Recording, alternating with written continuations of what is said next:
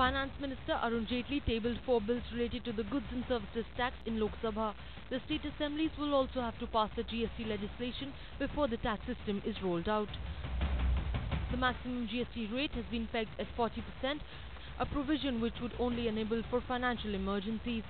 The actual tax rate would be in a four-tier tax structure of 5, 12, 18 and 28% as approved by the GST Council.